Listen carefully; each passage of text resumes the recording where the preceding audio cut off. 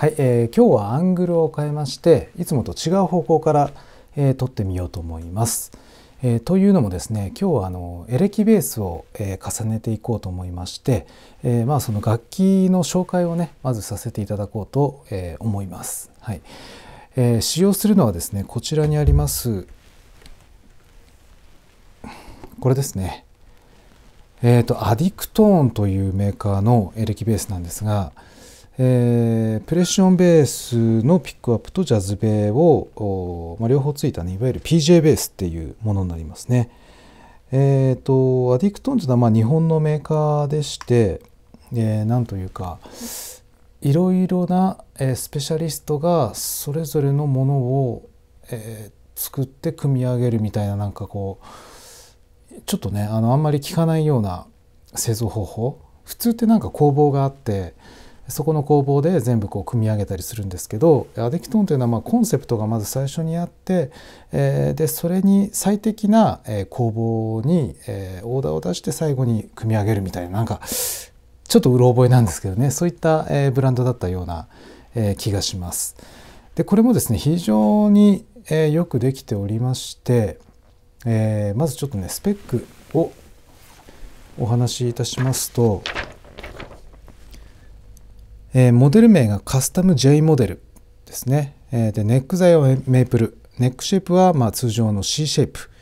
ネック塗装はウレタンサテンということで、まあ、非常にこうサラサラした、えー、手触りのいいネックになっておりますね。えー、ヘッド形状はアディクトーン独自のヘッド形状になっております。でこちらはまあアディクトーンさんの旧ロゴですね。え、そこから見えるかな。えー、まあいいか、えー、旧ロゴになっておりまして、えー、今のとはまたちょっと違った趣のものになってますね。えー、で、ペグがですね、ヒップショットのウルトラライトペグというものがついてまして、で、えー、2分の1っていうふうに書いてありますね。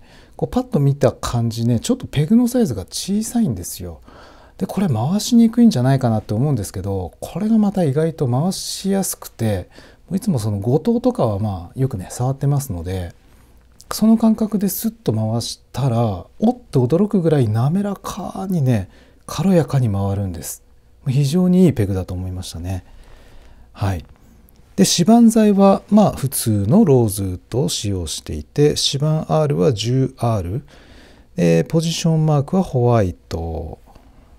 まあ、あとは標準的なねフレット数は21だったりナットは牛骨。でナット幅なんですけど 40mm ということでえここにも書いてあるんですけど J と P の中間ですね。ジャズベースとプレッションベースの中間のネック幅を使用採用しているということですね。ジャズベースってかなりねあの細くてプレベは結構太めだったりするんですけどまあちょうどその中間を取ってますよということですね。えー、あとボディ材はスワンプアッシュ2ピース。スワンプアッシュの2ピースですね。2ピースっていうのがまたいいですよね。でボディカラーがご覧の通りのブロンドでネックは飴色のサテンでございます。塗装はウレタンになってますね。ラッカーではないです、えー、ピックガードが4ピースの、えー、べっ甲柄。えー、ブリッジは標準のフェンダースタイルを採用しておりますね。で、えー、これが多分ねもうすごいと思うんですけどピックアップがここにねプレッションタイプとジャズベースタイプがついてるんですけど、えー、それぞれアマルフィターノですね。アマルフィターノ P とアマリフィターノ J がついています。このアマリフィターノさんっていう人がアメリカにいらっしゃって、えー、この方がもう巻いている本当にハンドメイドのピックアップですね。がついている、まあ、ものすごいいいものがついているということですね。はい。えー、でこちらはコントロールはボリュームん？どうなってるのかな？あそうですね。これがえー、ボリューム。でこれセンタークリックがありますのでバランサーですね。バランサーでこのちっちゃいのがトーン。で一番こっちにあるのが、えー、アクティブなのでアクティブなのでトレブルとベースをそれぞれ調整することができますね。はいとても優れものです。えーと、そんなところですかね。えー、あとですね、ちょっとこれ、ここの使用書には、えー、マスターボリュームのところですね、ここがスイッチポットでプリアンプオンオフできるっていうふうに書いてあるんですが、まあこれできないです。おそらく付け忘れちゃったんじゃないかなと思います。ですのでまあ常にアクティブではありますが。とはいえまあ非常にこういい音なのでね、えー、ぜひちょっとああとねプリアンプ搭載してるプリアンプがこれものすごいいいやつみたいでいわゆるあのディスクリートプリアンプらしいんですよね。あの IC とかそういったもので増幅してない、えー、非常に良質な、えー、プリアンプを使用しているということなのでここもちょっとかなりねあのポイントになるんじゃないかと思います。はい。非常にいいですね。でこちらなんですけど、えー、ね、ちょっといろいろ趣旨と外れ始めてきてますが こちらは、えー、中古で税込み22万円でございます。22万円、えー、お買い得かと思いますので是非ねちょっといいベースお探しの方は、えー、検討していただくといいんじゃないかと思います。はい、で今日の録音のルーティンはですね、えー、まずこのベースから、えケーブルでこちらの、えー、ポッド X3 ですね、まあ、非常に古い、えー、アンプシミュレーターを使おうと思います。これもね実はですね売れ残りでして ここにね中古とか9800円とか書いてあるんですけどそうなんですよ。なかなか売れない。とてもいいものではあるんですよね。この X3 というのはまあ通常あのポットってギターのまあ、えー、アンプシミュレーターではあるんですけどベースもいけるんです。ベースのプリセットも入っていてさらに、えー、キャノン端子がついていてですねあのマイクもいけるんですよねマイクも非常にいろんなバリエーションマイクシミュレーターとかそういったものもついていてかなりこの卓録に寄せた、えー、商品になっております。はい、えー、こちらはお値段が9800円ということでね、えー、ぜひこちらも検討していただきたいと思います。えー、で早速ちょっと音を出す準備をしていきたいなと思います。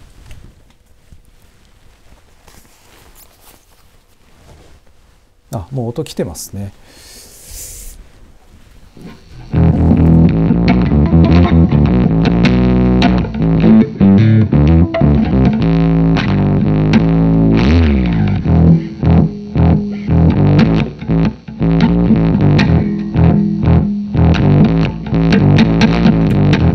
まあこれはこれでかっこいいんですがこれはあのプレキシリードなのでもう完全にギター用のプリセットですね。えー、ちょっとベースっぽいやつを探していきます。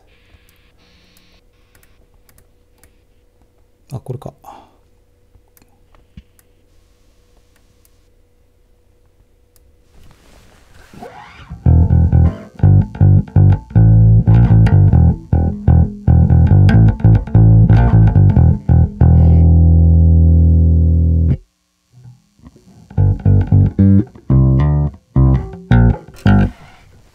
あのこれを今ねアンプキャビネットシミュレーションとコンプレッサーとリバーブかかってるんですけどこれ全部オフにして素の音を聞いてみようと思います。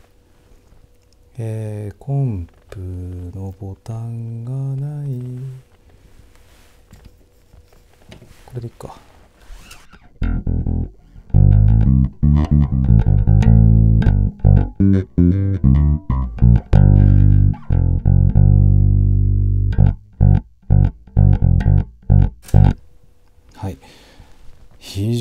常にいい音ですよね。でちょっとこちらのねトレブルとベースのブーストもやってみようと思います。まずトレブルブースト。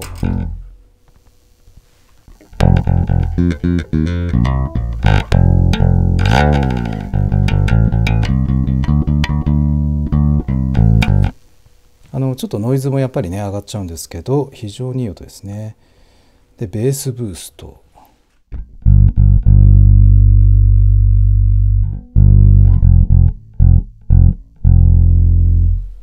ちょっと元に戻します。ブーストしていきます。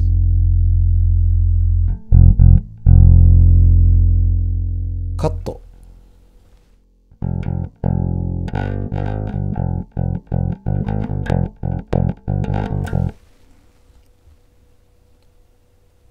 はい非常にいいですね。えー、と今あのバランスはですねジャズベとプレベの中間えー、両方5050で入っております。トーンは、えー、もう全開にしてありますね、えー、ではではちょっとこのいろいろねエフェクトかけてもうこのままでも全然いい音ではあるんですけどやっぱりアンプシミュレーションをねかけた方がいいかなと思いますので、えー、まずアンプシミュレーションをオン。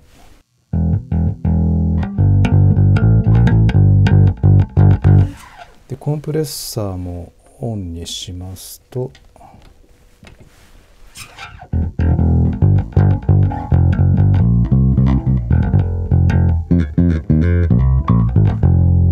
うんいいですね。ちょっと他のプリセットも見てみます。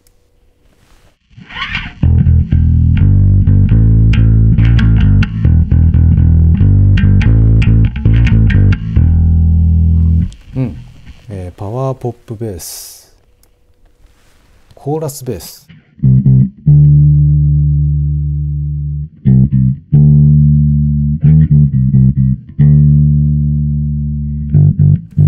今あの一応やっぱここからはステレオで出てはいるんですけどあのモノラルでしかやっぱ取らないので今あのモノラルであの音が返ってきておりますね。えー、ですのでせっかくのコーラスなんですけどちょっとモノラルになっちゃっていると。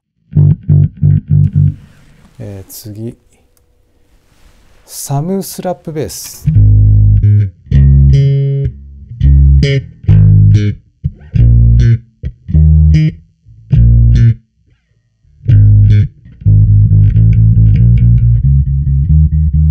非常にねどんしゃりな音になっております。バズキルベース。これ使えない系の音ですね。アドバイサリーベース。おお何これ。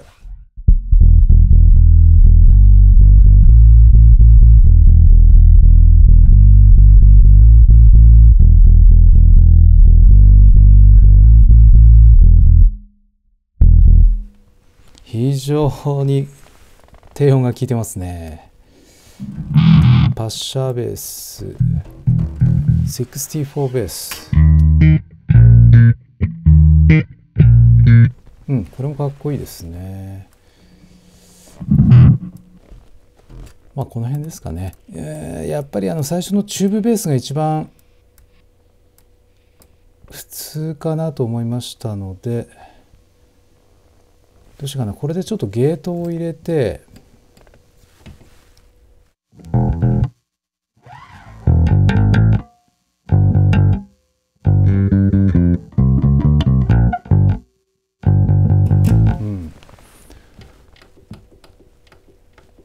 えー、アンプキャビネット。あノーキャビネットになってますね。これをベース 1×2 ブティック。1×12 か 1×12 インチ一発のブティックキャビネット。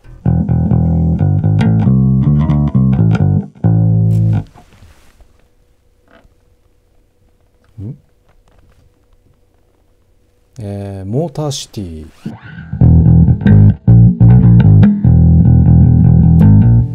うん結構出力が大きいですね。ちょっとトーンボリューム下げて。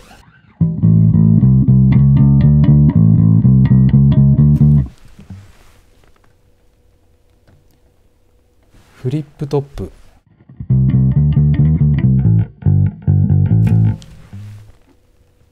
ジャズトーン。セ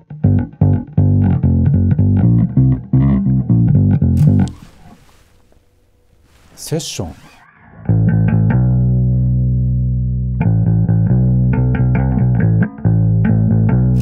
うんなんかいろいろあって迷いますね。アンプ360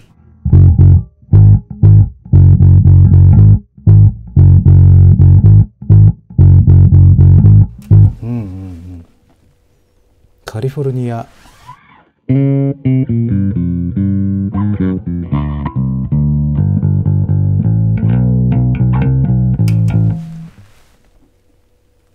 スタジアム？いやもう何がいいか分かんないな。クラス A ライン6スイード。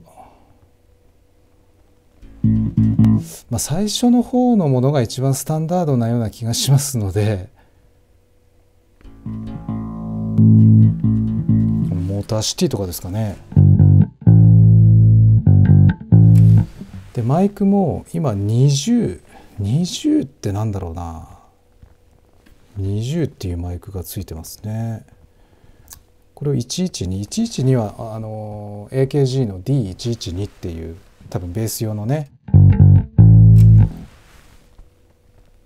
47っていうのはノイマンの U47 ですね。チューブ真空管マイクですね。でそれをファーだからあのちょっと離したタイプですね以上ですねえー、じゃあ112でいっときましょうか。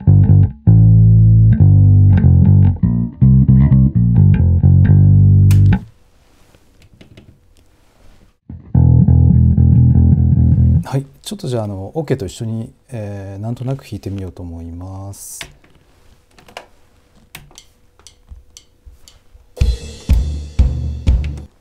えー、ちょっとメトロノームを鳴らしたいかな。えー、メトロノーム大きいのでちょっとボリュームを下げます。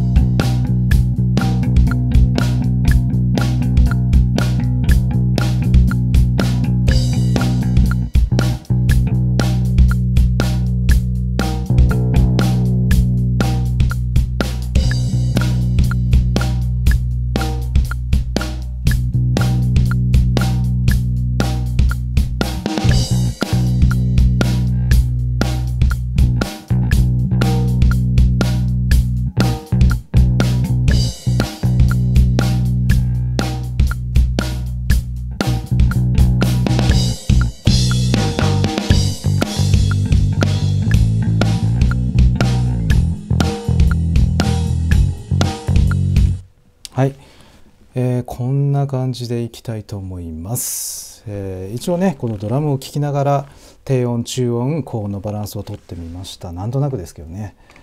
まあ、これで一応いきましょう、まあ後からねこの MTR で EQ の補正もかけれるので。はい。えー、ちょっとじゃあ楽譜がここにあるので楽譜を見ながらやります。えー、じゃあ録音。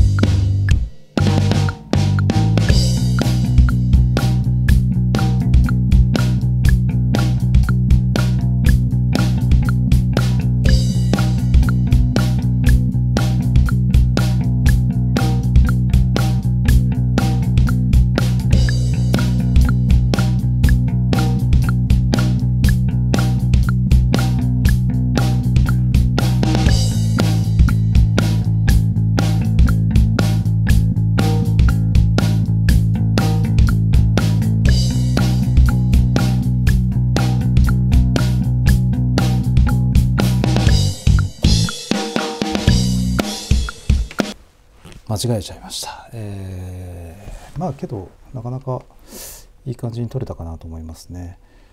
ではちょっとパンチインで、えー、ですねパンチインをしてみましょう。ちょっと今のテイクを聞いてみましょう。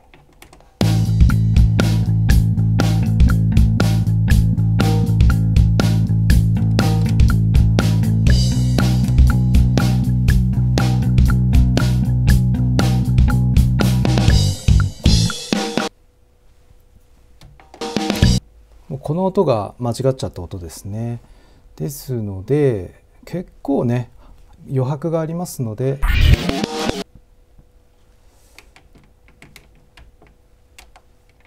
えー、この辺でどうしよう4拍目ですね。はい。あの4拍目ちょうどから、えー、録音を開始するような形にしたいと思います。でスタート地点をインボタンで決めてでどこまで取るかですね。はいここで、えー、終わりにしたいと思います。でアウト。ねこれであの範囲が指定できました。この間をパンチインします。ですので、えー、どこから取るかというと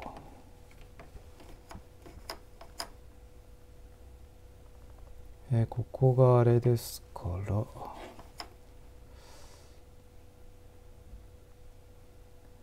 ここからどれくらい前にしようか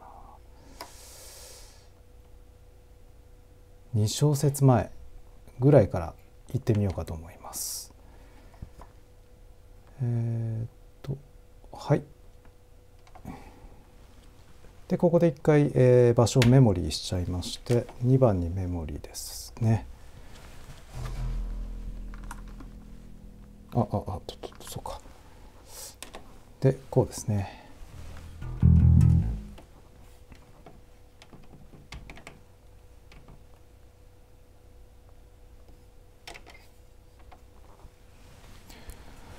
はい、えー、でサビは何から始まるかというと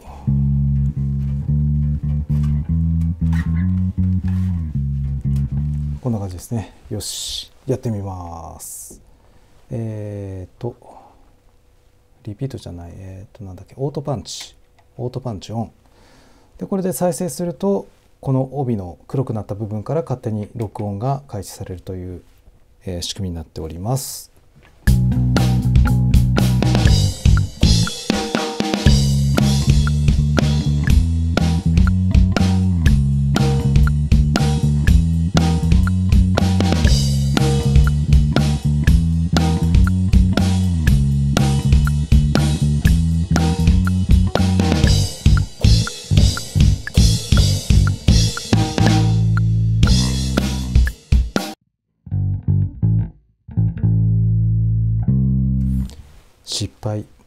失敗した時は Undo ボタンでもう一回戻ります。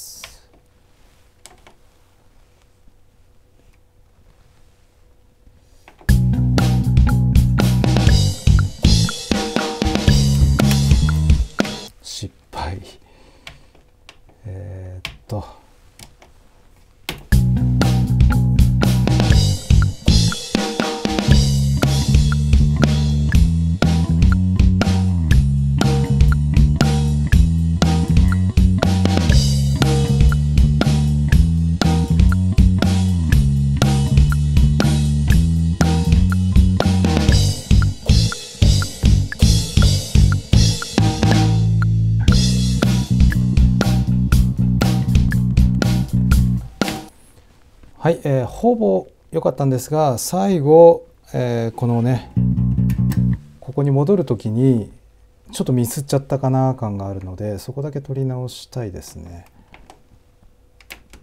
えー、オートパンチオフ。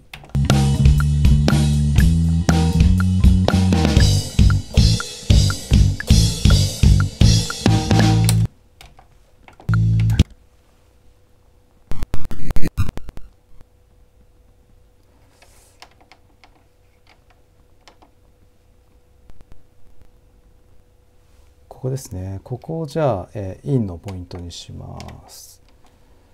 ではここから、えー、取り直してみたいと思います。えー、っと。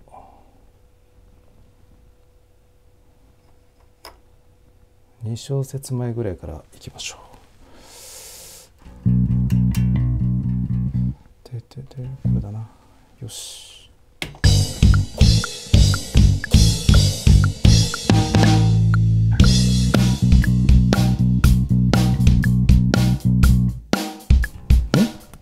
ああ取れてなかった。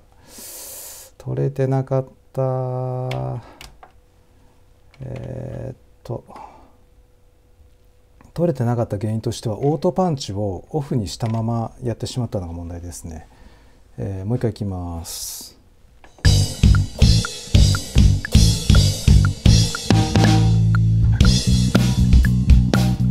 なんかミスった感じしますね。えー、っ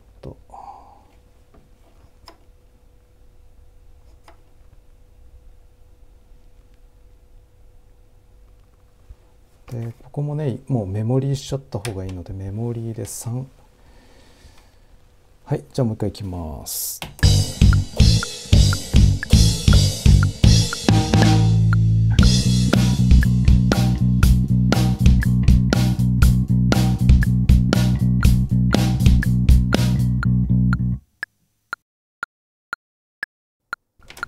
はい取り終えました。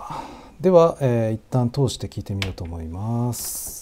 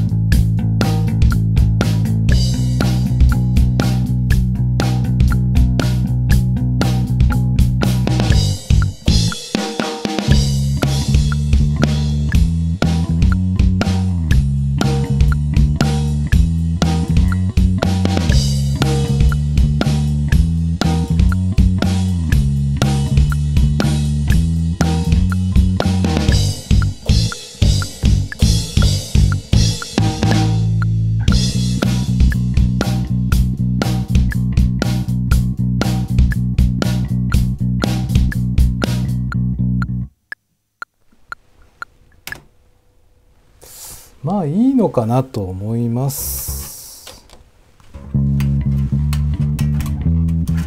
ちょっとサビ合ってるのかなこれで。まあ大丈夫でしょう。はい。